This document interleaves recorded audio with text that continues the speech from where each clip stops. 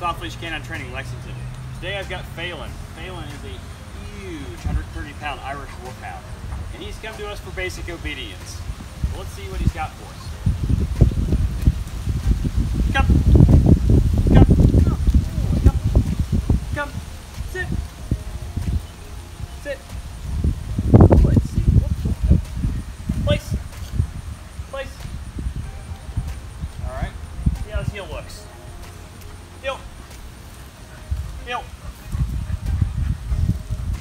heel, heel, heel, heel, heel, heel, heel. So as you can see, he doesn't know anything yet. And I'm really excited to show you where he'll be in 14 days.